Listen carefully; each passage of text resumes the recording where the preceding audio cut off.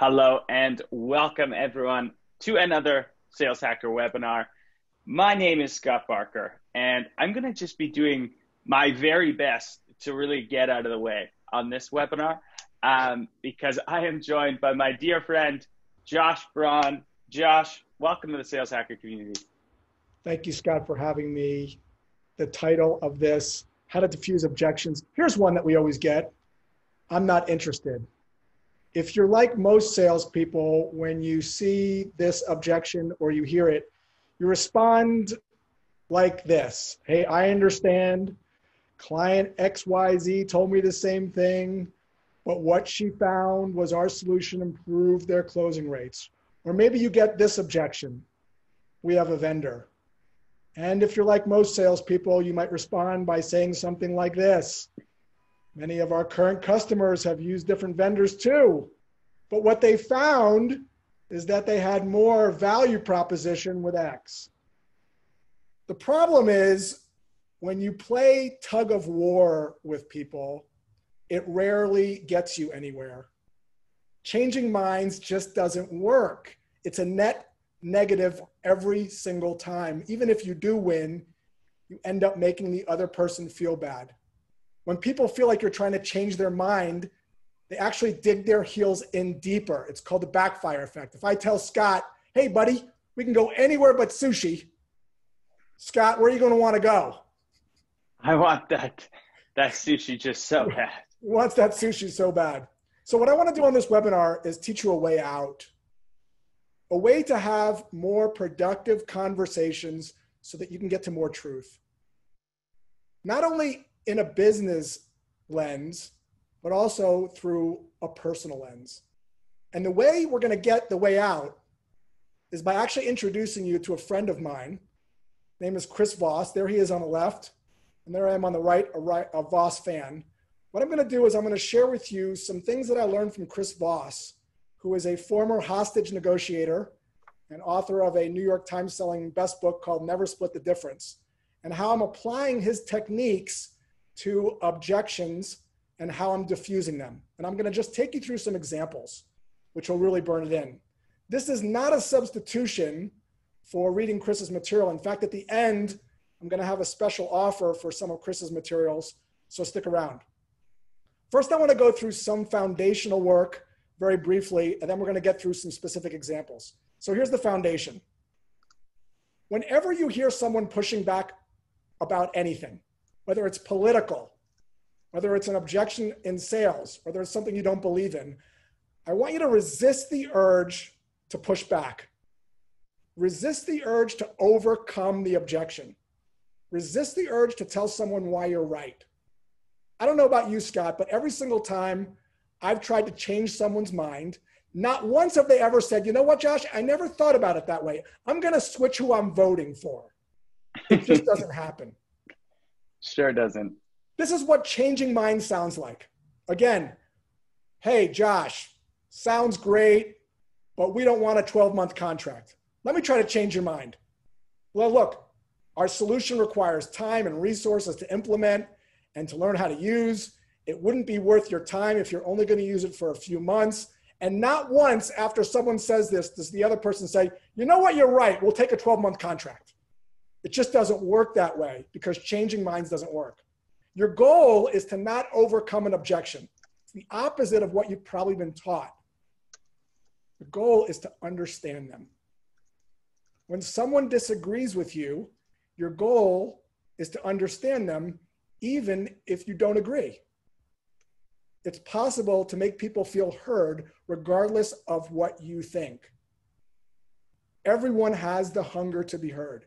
And knowing how to make, make people feel heard is a superpower that can help you get through to anyone in your personal or in your professional life. When people feel understood, they're going to tell you the truth. And the truth is only going to be one of two things. One, I want to end the conversation for now. Or two, I'm open to chatting further. When you create an environment where people feel comfortable telling you the truth, you spend less time chasing. The problem is we're not really great at listening. We actually listen to talk. So this is a new muscle. You're going to learn some of the information, but the practicing is key. Let's get into it. Let's go through some objections and how to diffuse them. A couple of examples. Pretend I'm an accountant in a sea of accountants, and I'm selling to small business owners.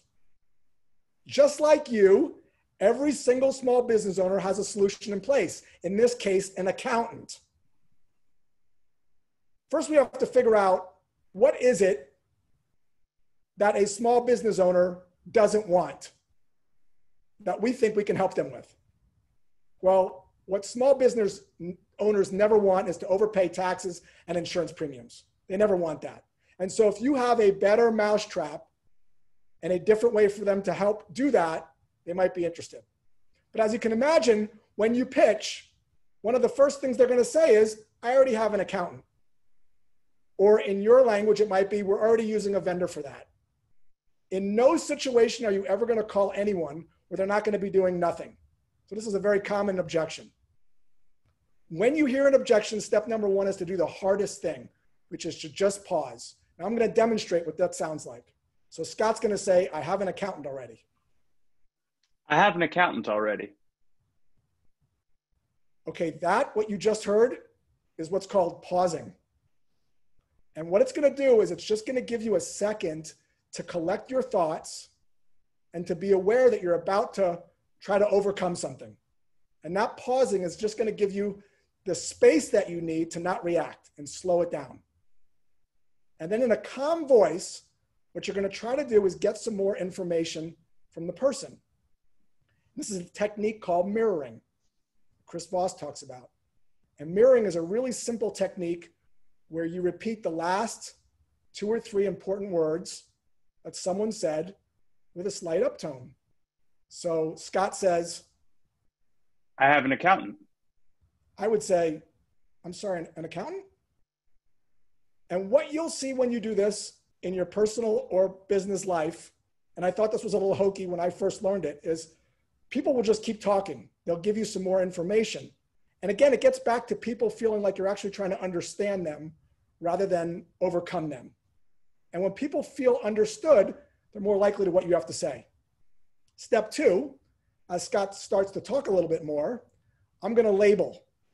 Um, labeling describes the underlying emotion that someone's feeling. Uh, Chris Voss did this beautifully to me when I interviewed him on my podcast. I was telling him about my passion for triathlon and why I was doing them because my dad died and why I wanted to do them when I was 50. And then he paused and he said this Sounds like you were really close with your dad. And man, did that really hit me, even though I knew what he was doing. And that's the power of labeling. Again, it gets back to making people feel heard. So in this case, I might say, sounds like you're really happy with him. And what this question does is it gets the other person to think, well, am I really happy with him? And what you'll often get when you ask a question like this is they start to maybe tell you reasons why they're happy, but also why they're not. And then we go to step three, or sorry, step four, which is what's called an accusation audit. This is where we're going to see if they're open to possibly a better or different way to do something. Um, accusation audits label the negative emotion someone might already be feeling. They label the negatives. When you label the negative thing someone's already thinking, it diffuses it. By way of example, if someone always tells me I'm going to be expensive, what I'll say at the beginning is, someone asks for a price, I'll say, you're probably going to think I'm really expensive, way out of your budget. Because that's the negative emotion they're feeling. So in this instance, I might say, you're probably going to think I didn't do my homework on your business. But would you be opposed to seeing if there are opportunities beyond what you have now to avoid overpaying taxes and insurance premiums? Now let's dissect this a little bit. First part there is the accusation audit. I'm labeling the negative emotion they're feeling. Would you be opposed is what Chris Voss calls a no orientated question. Prospects are so used to sales reps trying to persuade them to say yes that they're apprehensive when they feel like they're being led into a yes trap. No feels more safe. And then the last part are you open to seeing some opportunities beyond what you have now to avoid that thing that you don't want. Aversion loss, fear of loss, fear of spending more is more of a stronger motivator than fear of gain. Now, I've listened to calls all the time when people are using these approaches, and it's amazing when you use this, people just open up and they say, No, I wouldn't be opposed to learning more. So that's an example. Let's go for another one. I'm a sales trainer. I sell to VPs of sales. What don't they want? They don't want to miss quota. This is one that I had uh, three weeks ago, a deal that I closed. The client said, the VP of sales said, Hey, we're considering a few vendors for sales training. So what did I say, Scott? Nothing. Good job. Number two, I mirrored. And what would that sound like, Scott? A few vendors? That's exactly right. A few vendors. And they went on and they spoke a little bit about the people that they were looking at. Step three this is another technique Chris Voss teaches. It's a masterful technique, takes a long time to master, easy to understand. Calibrated questions get the other person to solve the problem rather than you solving it. In this case, they give the other person the opportunity to give you your value proposition rather than you giving you the value proposition.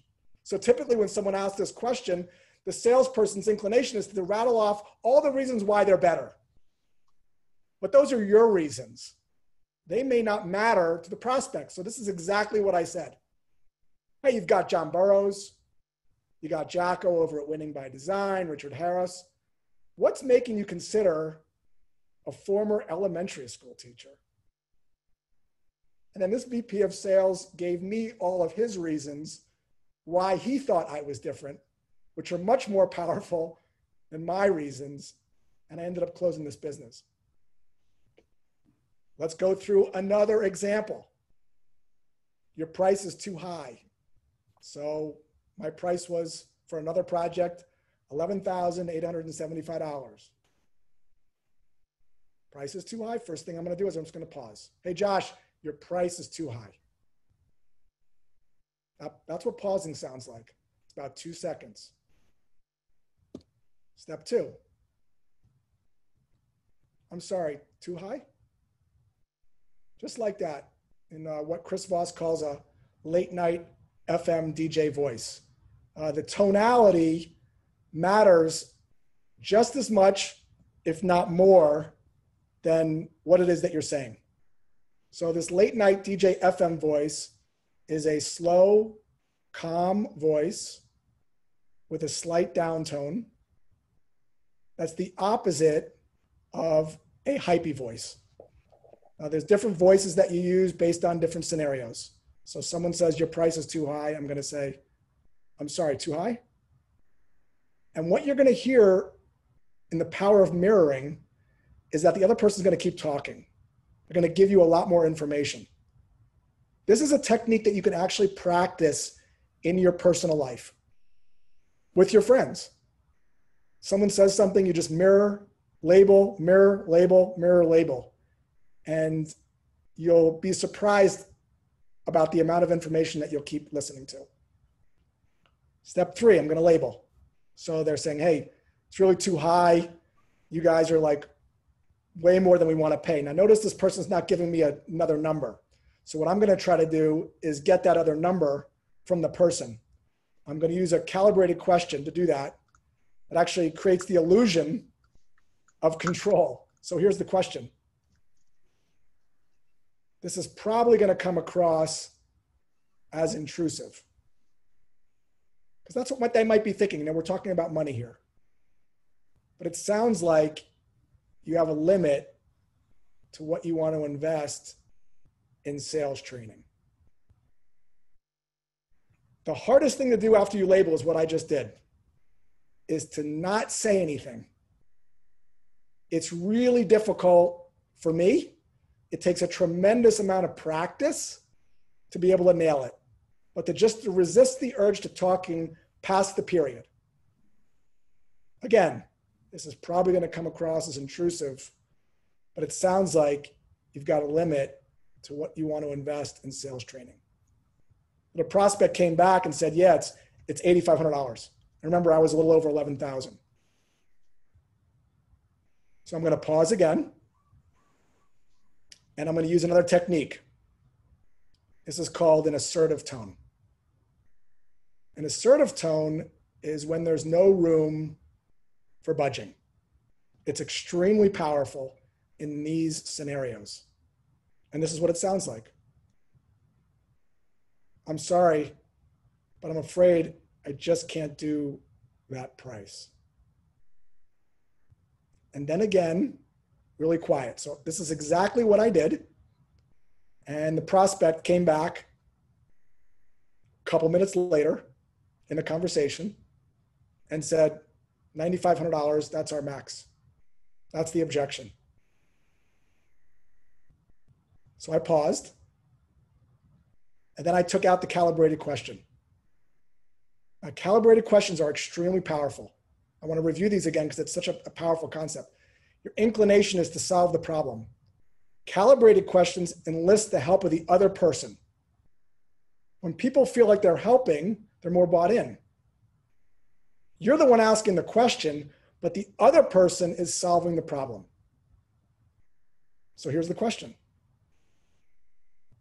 That's a very generous offer. I really appreciate you considering me. But how am I supposed to reduce the price with, without reducing the number of reps that I'm training? I just think about that question for a second. How am I supposed to do that?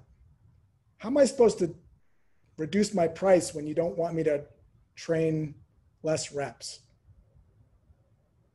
An- another example of that is what Voss did in a hostage negotiation when a terrorist was threatening to kill the hostage unless he gave them $50,000. And he said something to the effect of, How do I know she's still alive? And he was able to put her on the phone, and that opened up the conversation. So these kind of questions are extremely powerful. I use them a lot in negotiations, and I also use them a lot in objection handling um, as well. That ended up closing for $11,800. Let me give you another example. You might hear this objection. It's another really common one. Um, I don't want an annual contract. I don't want to sign 12 months. We saw at the beginning of the presentation what the typical answer to that is, and rarely does that get you anywhere because people don't feel heard. So, step one, hard part, pause. Step two, mirror. That's your that's your cue, Scott. Sorry, I was on mute there, man. See, Scott was practicing his, I love how Scott practices his the silence. It's the best. Josh, can I interject with one question? Because I think yeah, it's a yeah, fantastic yeah. question. And I think it will help hit this home. Mike Robinson has a great question. Mike, thank you for the question.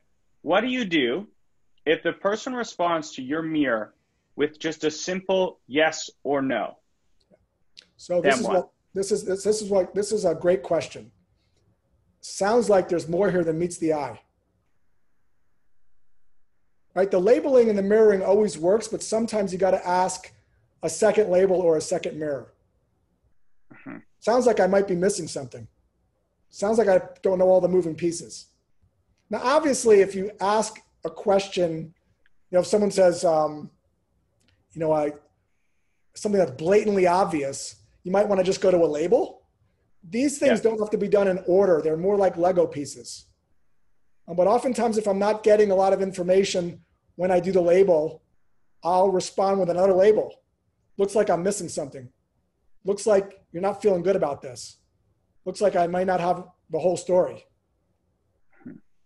And then again, if you're quiet and you give the label a chance to work, um, oftentimes you'll get people talking again.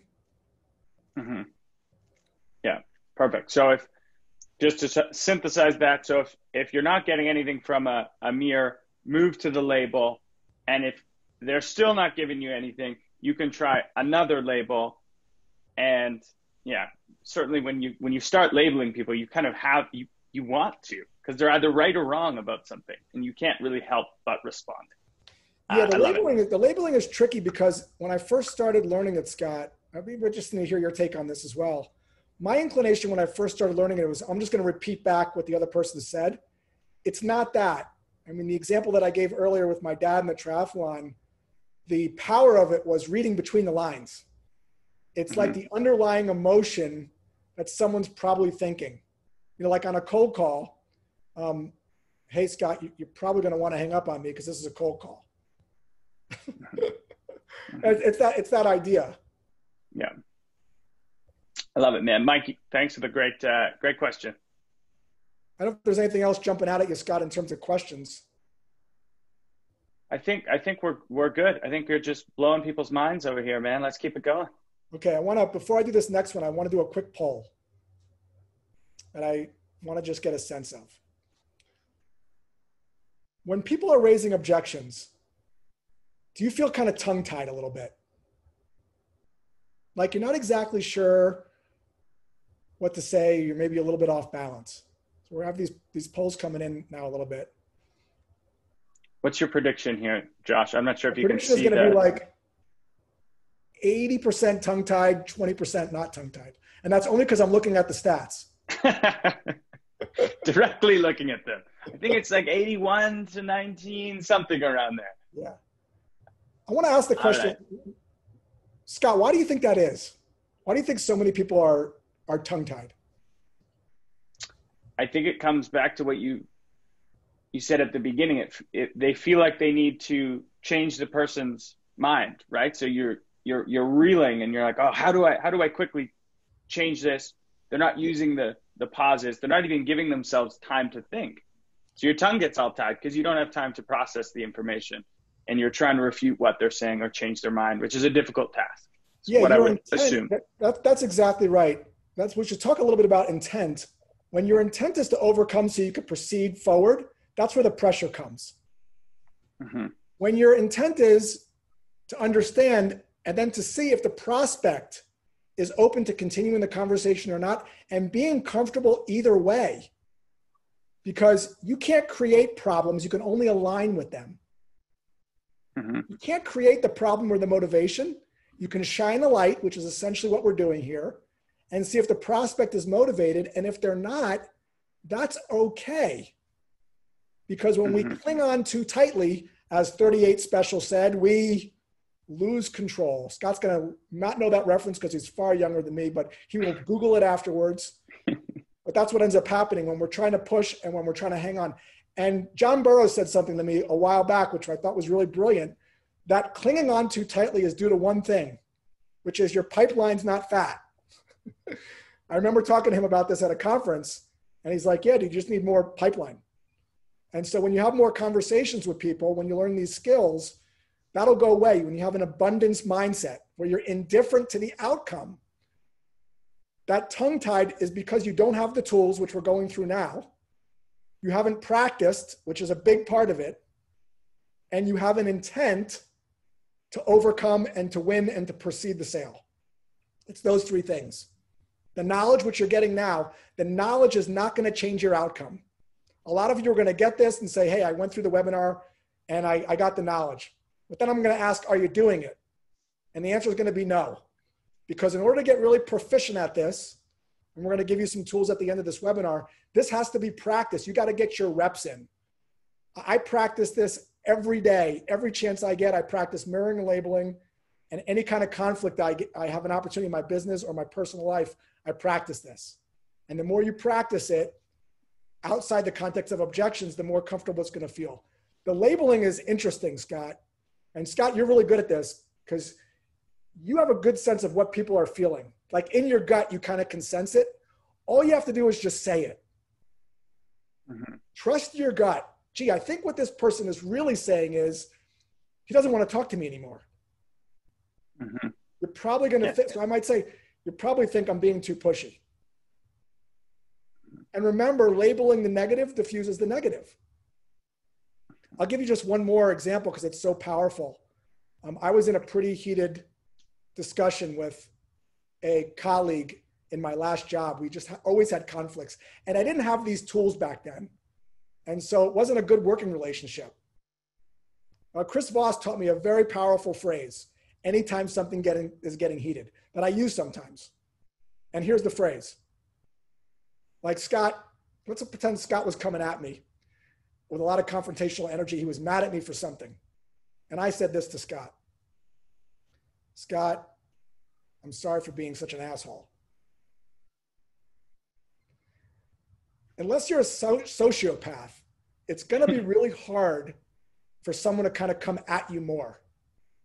Uh, so, this idea of being a little humble and being a little vulnerable is really the opposite of what we're trained in sometimes as salespeople, um, but it really creates more productive conversations. I okay. love it. Yeah. The questions are are flying in, but let's let's let's keep going with this one. Do you? This one is good though, but I'm not sure if we'll get to it. Uh, you might already have it in your deck, Josh. This is how do you overcome "I'm not interested"? One of the most common objections ever. How, yeah. How do you deal with that? So we're gonna we're gonna we're gonna cover that. So when you're when someone's not interested, typically it means that you're not interesting. we we talked a little bit about this objection, but there's ways to kind of prevent that from happening in the beginning. But if you get it, I might say something to the effect of, in a kind of Voss style, sounds like my pitch missed the mark. Sounds like I'm completely irrelevant. Sounds like I really messed up this pitch. And then be quiet. Now, again, that's a band aid. Typically, if you're hearing that too much, there's something going on with what you're saying, your message, or who you're calling outside the, con- the, uh, the scope of this particular webinar. But if you're hearing that a lot, you got bigger problems. That's a band aid. Mm-hmm. Um, again, if you're if people are saying you're not interesting, you're not interested, you're probably not interesting to them. Yeah, I would I would add on on top of that as well. And Josh, I know you talk a lot about this. Is your tonality too? It can be as simple as you sound like a BDR or you sound like a salesperson trying to. So I I didn't even hear what you said. My just heuristic pattern in my brain identified you as a salesperson and I just blanket say I'm not interested. Yeah, the, the number one culprit of that objection is that you don't understand at a crispy or specific level the prospect's problem and if it's intense and frequent enough to warrant switching and changing. Let me give you just a quick example. I don't want to get too far off, but I people have problems all the time. I have a pixel out on my TV in the back bedroom, but I barely watch that TV and I barely notice the pixel. So I'm not getting a new TV even if you called me. Because I have limited resources. If I had all the money in the world, I'd replace my TV, but I don't.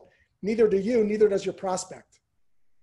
So understanding specifically what's the black and white version of the infomercial for my prospect? Are they cutting french fries with a knife? It's taking them three hours. What can they now do better because of X that they couldn't do before specifically? And it doesn't sound like optimize increasing, saving time, or any of those other jargon words. And because you've never done the job of your prospect, it's hard for you to visualize it. And that's the number one cause. You have to understand the problem at a very crispy level. Again, we're so sidetracked, but I just wanted mm-hmm. to address it. All right. That was helpful. Let's get to this one. Um, I don't want an annual contract. So let's look at the mirror. Mirror is simple, right? annual contract? Or sorry, an, an annual contract? And maybe they say, yeah, that's right. I don't, I don't want an annual contract. We've rolled stuff like this out before and nobody ever ends up using it. It's a big, like a big waste of money. To which I might say, what about an annual contract doesn't work for you? And they might say what I just said. That's a calibrated question. I'm going to get them to expand. Well, we've rolled this out before and we just don't get the utilization. So I want to go month to month to ensure it's actually being utilized. So I'm not paying for something that's not being used. Again, the calibrated question enlists their help to give you more information. And then I'm going to label. Sounds like you don't want to be locked in for 12 months if there isn't adoption. Sounds like you don't want to be locked in if only half of your reps are using this. So if I'm outreach, maybe this is an objection outreach gets. Sounds like you don't want to be locked in if only 10% of your reps are using this. And what you're listening for, Voss calls are these two magic words, which is, that's right. That's right. That's when you know you've done this really well. Um, takes a lot of practice. Then I might say, an accusation audit. You're probably going to think this isn't possible. You're probably going to think this won't work. Probably going to think this is a terrible idea. But would you be opposed to us taking responsibility of ensuring that there's adoption? So, again, understanding the root cause of why the person doesn't want the annual contract using a calibrated question, and then phrasing the negative feelings that they're probably thinking, which is there's no way we can get adoption if we did it ourselves, but possibly if you took that responsibility, we'd be more open to it. Timing is off due to COVID, or timing is off in general. This happens a lot, right? And I was just talking to an SDR an AE before this call. I actually have this recorded, and he used this exact script. And he told me his words. I don't know if it's true or not. You know, 75, 80% of the time, when he hears this timing is off objection, he's able to schedule a follow up conversation using this exact methodology. Okay, so here it is. Timing is off. Sounds it sounds interesting. But hey, got a lot of priorities and the timing's off because of COVID and all kinds of other things. Again, not all problems are intense and frequent enough to warrant solving right now when you call. It could be just a pixel out in the back bedroom. Could be interesting, but maybe not right now. So pausing. This rep did a masterful job of pausing. Step two, mirror. Due to COVID? And you listen to the prospect opening up. Yeah, we're working on this and this and this, and COVID's been this. And the, the SDR was did some more mirroring and some labeling, and this this went on for a little bit. And that's the key to it, right? When people feel understood and they're talking, they're more open to what it is you have to suggest at the end. It's when you get to the end and try to overcome that they're closed off. So the mirror, due to COVID, accusation audit. Here's exactly what the SDR said. You know, would it be a terrible idea?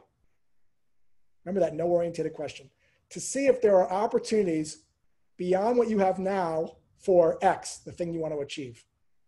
Not for now.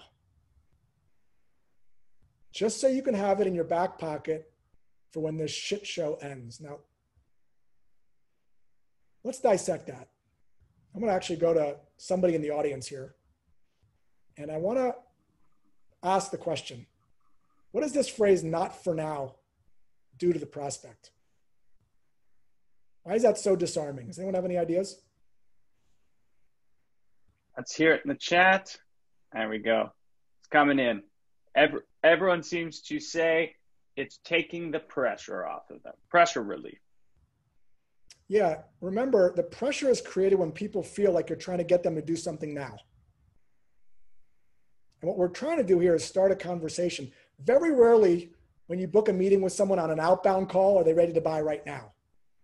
What we're trying to do is just start a conversation, plant some seeds that we can nurture along for when the timing is right. Again, would it be a terrible idea? No orientated question. And then that middle part, which is really key. We're not going to bash what they're doing. Nobody likes to feel like their current solution is wrong. I was reviewing some emails for a client that I'm working with right now, and they were using the term, Are you wasting time doing X? Nobody wants to feel like their current process is wasting time. Words are really important. So let's be more positive. You know, are there opportunities beyond what you have now for getting higher response rates on your emails or for saving premiums or for X, Y, or Z? Not for now, just so you can be more knowledgeable for when this shit show ends. Now, why am I using this word shit show? Why am I actually cursing, do you think? That's a that's a hard question, but let's see if anyone anyone can pick up on that. Yeah, looks like they're they're getting into my my eyes. Makes you human. I think you know that's real language that real people use. So you're no longer just salesperson Josh. You're You're a human just like me. Scott, is it just me or do we have very intelligent people on this webinar, more so than normal? We do. We, we do. We certainly do. There's also a lot of people. Do you have a name of someone that said that? Can we call someone out? Did someone actually say that? We've got Zaid Ahmad said tactical empathy. I love that. Really well oh. put. Um, Gareb Seth, Donage Calderon, Samson. Wow, a lot of people. Eric Wagner, Ben Brooks. Yeah. There's literally hundreds. Yeah, so uh, less salesy. I like it. Yeah, you're exactly right, Scott. When you actually use words that your customers use, when you, as famous copywriter Robert Collier said, you're joining the conversation in their mind, they're more open and because it's more relatable. When you use words like this, streamlined, 360 view, optimized, increase sales, decrease costs. Those are jargon words because people have heard them for so much, they're, they're desensitized. So this is real language. Uh, very, very great um, observation out there in the crowd. So I've seen this happen again and again. And this SDR I was just talking to told me this story, and this has worked really masterfully when timing is off. Hey, Josh, what happens if I'm having to diffuse objections over email? Well, let's not be theoretical. Let me actually show you a real email chain. and I've tried to redact as much information as possible, but as Scott knows, I'm really bad with attention to detail, so some things may have slipped through, but it's for my business, so hopefully I'm not uh, gonna, gonna mess this up. We can fix it in post, right, Scott? Hopefully, or is this going live? Of course, of not. course. If any, if anyone wants uh, a quick way to get Josh's attention, cold email, just call it his typos in this, and you know, that's right. that's a I need. Let's go. Here we go. So um, this is a client that wanted to move forward with something, and they were not able to get on the phone because the time they were like in another country. She wanted a proposal. If you are sending proposals when people ask for them, you're doing it wrong. Question you should ask when someone's sending a proposal is if I send you a proposal for the right amount of money and you like everything, what happens next? And then you'll hear the real objection. Well, I got to talk about this with my boss, in which case a proposal is premature. So I never send proposals.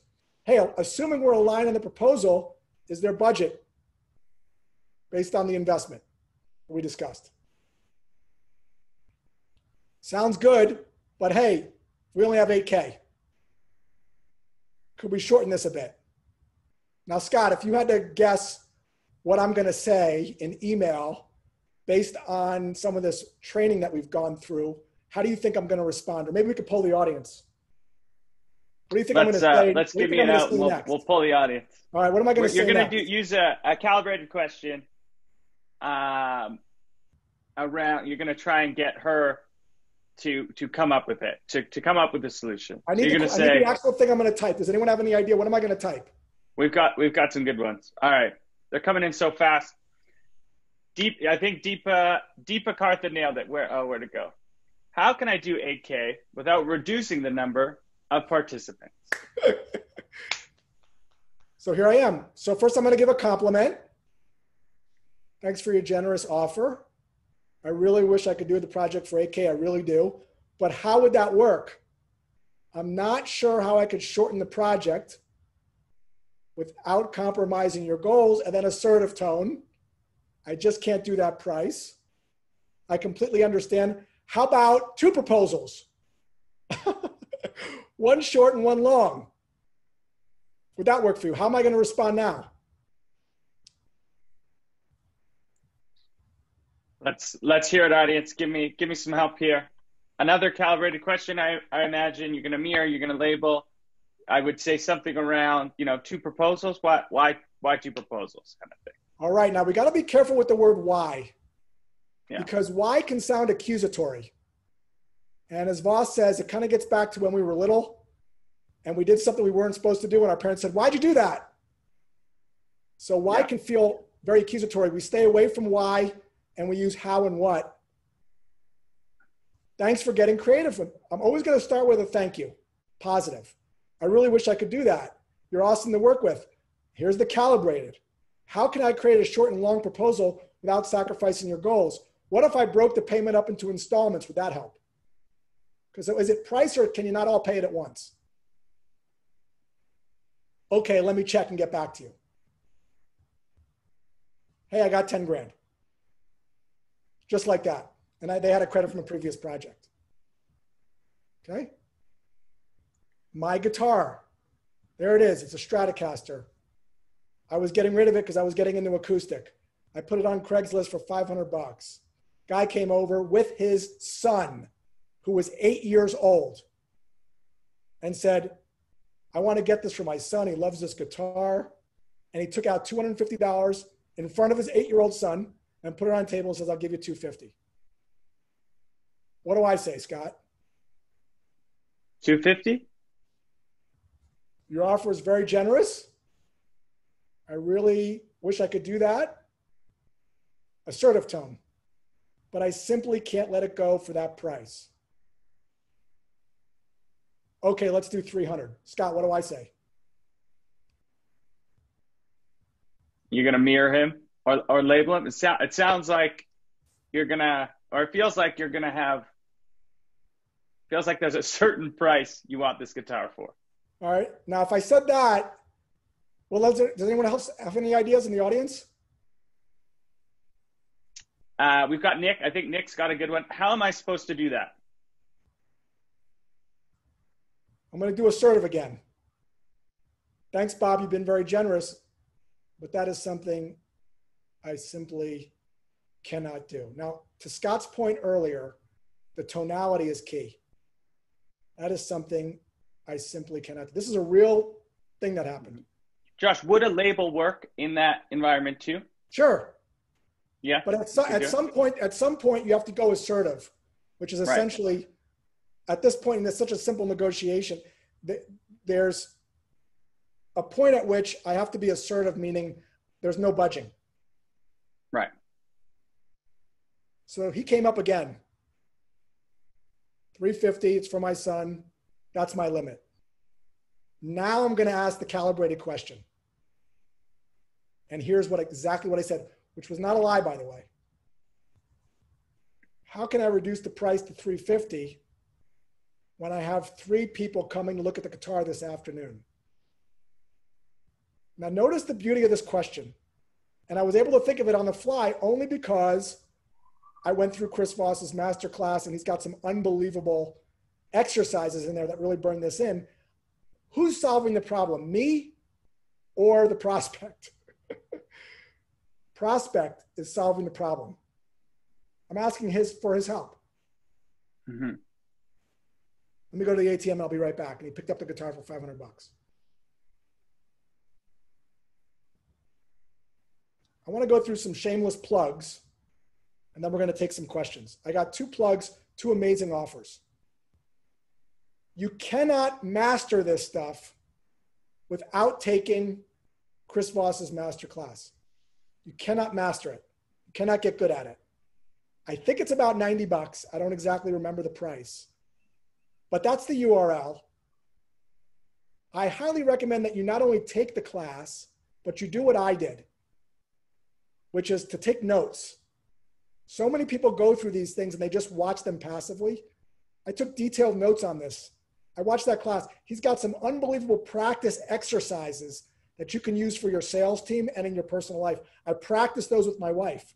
I practice, practice, practice until I got my reps in and get better at it. I still practice. So take this class and don't just take it passively, take it actively, take notes and get into the material deep. A lot of times people ask me what books I read. I'm like, just read one book, go deep into one thing rather than going in shallow into a lot of different things. And it's the doing that matters.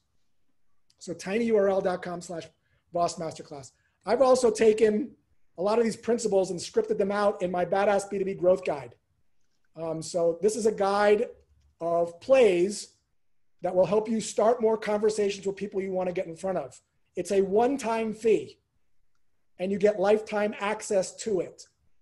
Um, I'm not going to sell it on this presentation. You can go to this website and you can see what changed for the better with other people that have bought it at tinyurl.com slash Josh Braun. What I'd like to do now, Scott, is open this up for questions. Let's do it.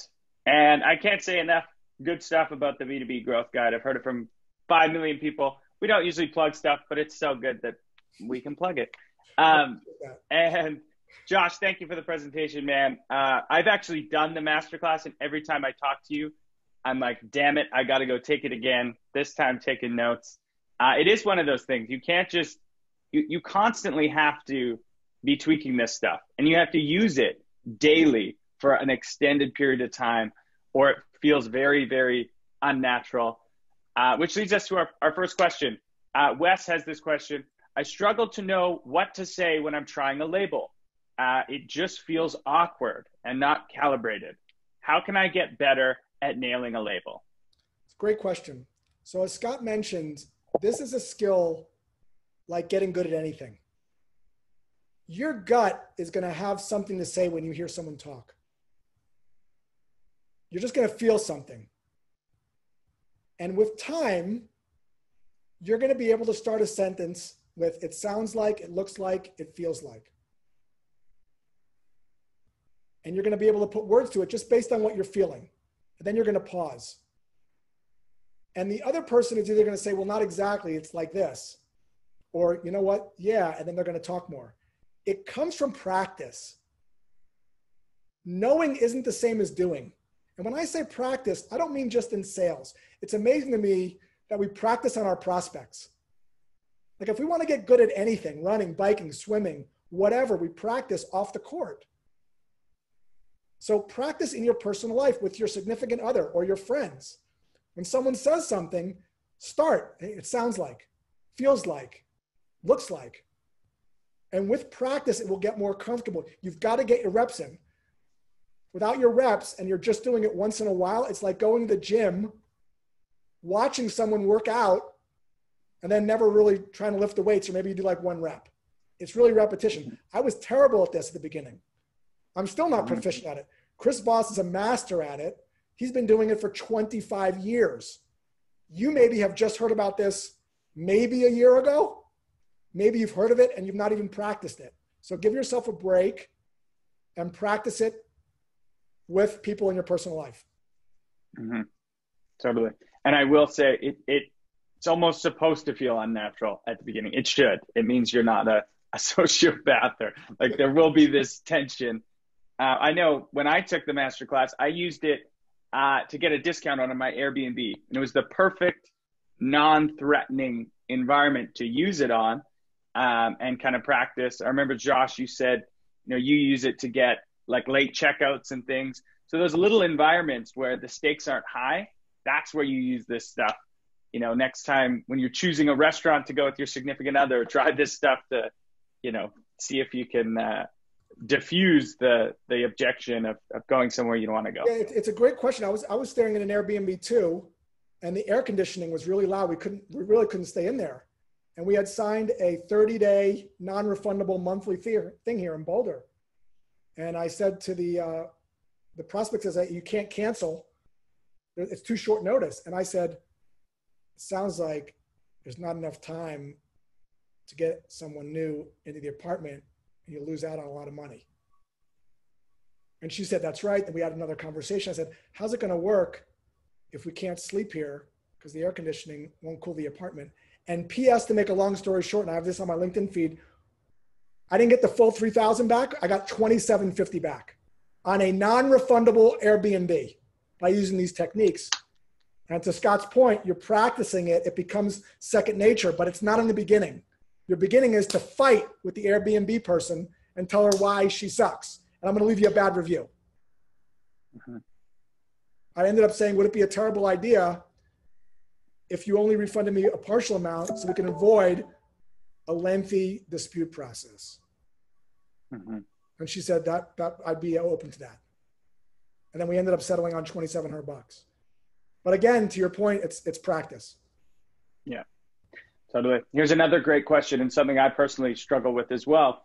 Uh, Angelo is asking, how do you know when to mirror, label, and ask the calibrated question? How do I know which one of my bag of tricks to use at any given point? So generally speaking, in the beginning of a conversation, the mirrors and the labels are really good. When you're first starting to have a conversation because you're trying to collect some information. So as a general rule, and there's no hard fast rules, but as a general rule, label mirror, label mirror, label mirror, calibrated question, perhaps something assertive, accusation audit. Usually you wouldn't go for the accusation audit at the beginning. Usually it's label mirror at the beginning. Again, making people feel heard 1st mm-hmm. I like it. Um, this is another good one. This is from Anonymous. They don't want to share their name. Um, but can mirror and labeling techniques also be adapted, uh, adapted, sorry, to objections over email uh, to get prospects on the phone? Uh, specifically, I'm going to put my own kind of twist. Sorry to hijack the question. I personally feel weird mirroring over email. I don't feel like it comes across authentic. Do you mirror over email? Do you think you can, or is it more of a labeling kind no, of? No, uh, Becc Holland. Is this Becc Holland asking this question? Yeah. So no it could be. That's why it's anonymous. No, this, definitely has to be synchronous communication, meaning you have to be talking to somebody. This does not work. Mirroring and labeling does not work over email. You'll notice my email negotiation. I wasn't labeling and mirroring. It was mostly calibrated questions, and we were in the middle of a negotiation. It wasn't like cold email stuff going back and forth. This is not the right tool for that. Got it. Um, all right, we got another. A lot of people asking about the, the written stuff. Um, okay, so how do you deal with someone who says, I don't have budget now. We are on a complete spending freeze now due to the current COVID situation? Yes, Very we, common. Yeah, so we covered this a little bit earlier in the webinar. We'll just role play it. So Scott's going to be the prospect, and I'm going to be the salesperson. And Scott's going to say, "Hey, this sounds interesting, but." Mm-hmm.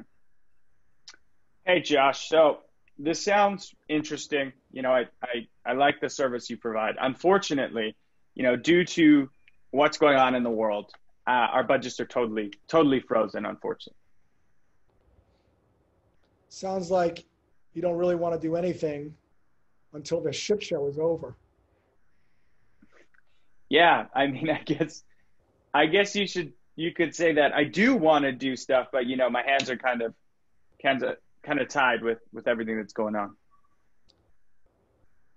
Scott, you're you're probably going to think this is a really stupid idea, given what you just told me. But would you be opposed to seeing if there are opportunities beyond what you have now to achieve X that might not be on your radar, not for now, but just so you can have them in your back pocket? Yeah, I, I mean, again, I, I couldn't do this now, but if we're thinking about doing something for the for the future, I guess there's no harm in, you know, checking it out. And that's the idea. And guys, remember this. This is again gets back to the beginning. Scott could have said no again. That's okay. This is not magic stuff to overcome every time. It's to understand the basic truth behind every conversation, which is two things. Yes, the prospect is open to continuing the conversation, or no, they're not at this time. These tools just give you the best mechanism to be able to get to more truth. So if your intent is, I want to use these things to get overcome, it's going to come through in how you say things. Mm-hmm. Your language, your tonality is going to sound all amped up. If you come at it with pure intent, which is non assumptive, just getting to the truth, shining a light, seeing if they're open or not, and being okay either way. Mm-hmm. Totally. It's about getting to uncovering information. It's not. It's not voodoo magic. Um, holy, there's a lot of questions. Um, okay, so Where's a good one? Um, ah, this is a good one. What about this situation? Very common situation uh, when you're you're maybe cold calling someone. And they say, you know, I just send me the stuff, and then uh, if I'm interested, we can arrange a meeting. Yeah, send me some information is a really a really common one. So in that situation, this is what I would do. So let's let's actually role play it, Scott. So I like to role play things because I like to role play things because I like to practice. Because guys, I, I, I do cold calls too. I do cold calls on my client's behalf with them when I work with clients, I say, hey, guys, if I can't use this stuff to book meetings for your company, how can I expect you to do it? So this is good practice for me. So I'm just going to practice this live. So Scott's going to say, like maybe I'm a, hey, I'm selling my consulting services to Scott, and Scott's going to say, hey, Josh, Sales DNA sounds awesome. Send me some information. Hey, Josh, you, you caught me out of the blue, jumping into a meeting. Uh, it sounds sounds cool. Sell me what, send me whatever you got. I'll take a look, and if it sounds interesting, I'll get in touch. I've got your email. Scott, who could possibly be more important than I am? That's a that's a Josh Braun aside. Let's let's not this trend. Let's take that. So, so some information. What information would be most helpful? Uh, you tell me. You know that whatever is a good outline of, of what you do. Scott, hopefully this doesn't come across as too uncomfortable. But sometimes when people ask me to send them some information, it's just their nice way of saying that they're not interested right now, which is perfectly okay. You know what? I, I might fall in that bucket. I might fall in that bucket. Okay, so let's end role play. So wouldn't you rather know that than sending information that most of the time the prospect is not going to read? And then I might say, you know, just so I don't do you a disservice and just so I don't flood your inbox with irrelevant information, would you be opposed to having a conversation so I can learn a little bit more about what you want and see if I could potentially help? Mm-hmm. Notice, notice the tonality there and notice the language. I don't want you to do a service. Would you be opposed to? These are all different tools that I might pull out based on the scenario. And then that first one, when I said, who could be more important than me? That's my personality. That's a really key thing. If I can make someone feel something, like Scott laughed, we didn't practice that. If I can make someone just a little bit smiley, it just, it's, it's another great tool for diffusing. When we come across as too serious and we get that sales voice and we lose our personality, that's where we get into trouble. mm-hmm totally. Humor can be the the secret weapon for sure. All so right. I, this was a great email that I saw uh, an SDR wrote uh, last week. Instead of saying, you know, fast, you know, 150% faster, he said something like faster than an 80s hairband uses hairspray. Like that is going to make someone feel something. And when you make someone feel something with your email copy or your words or your tonality, and you make them feel good, they're going to want more of that drug. And that drug, that feel good drug, is associated with you. It's actually oxytocin that's getting released into the bloodstream. So, so much of this also is, is your unique personality. A lot of you might be saying, oh my God, I would never say that. Not the words, the intent. However, your interpretation of that might be. Mm-hmm. Yeah, I like it. Here's, I'm going to sneak one more in. I know we got one more minute. Joe 12 says a fantastic question. Does it make sense to open a cold call with an accusation audit. Yeah, I've done this. And again, look, lots of ways to open up a cold call, but one of the ones I've done that I love is um, here, Scott, pick up the phone. I'll, I'll, do a couple. I'll do a couple of my favorite ones. All, all right, right, so we'll do two of my favorites because people ask me this all the time. Josh, how do you open up a cold call? So here's number one. Scott, pick up the phone. Hello. Scott Barker, I think you got a problem. Yeah, what's what's that? All right, let me let me do my, let me do my next one. I'll do three. I'll do three. Uh, second one, pick up. Hello, Scott Barker. Do you like tickets? All Ticket. Right, let, me, let me do let me do my third one. Accusation audit. Pick up the phone. Hello, Scott. This is a cold call, so you're probably going to want to hang up on me. And then be quiet. And then be quiet. Yeah. So that yes, the accusation audit is extremely powerful to start a cold call with. And again, it doesn't have to be those words, but this idea of labeling the negative emotion someone's thinking, which is, is this a cold call? So we're just mm-hmm. going to call it out. Yeah. And then I automatically feel like you understand me because that's yeah. what I am thinking. So it's right. perfect. Also, your tone there made me feel quite quite comfortable, and the pause was was part of the the effect for sure. Yeah. All right, Josh. I always leave with a page full of notes, and I always feel like I need to go do do more homework and practice more. So that's a really good thing. Thank you so much for sharing all of your knowledge with the Sales Hacker community. Um, I think you might win for the most questions we've ever had. Um, so, for all the questions we didn't get to, uh, please connect with Josh on LinkedIn if you haven't already. Um, and uh, he's actually really, really good at answering questions. I've seen him on the back of a bus uh, answering live questions. He usually send you a little voice note. I thought it was really cool. Um, and please do check out uh, his B2B Badass Growth Guide. Uh, I've literally heard nothing but but great things. And Josh, enjoy Boulder, man. Get some get some laps in the bike, and uh, I hope I hope we can hang out very soon. Sounds good. Thanks, Scott, for the opportunity. Have a good one.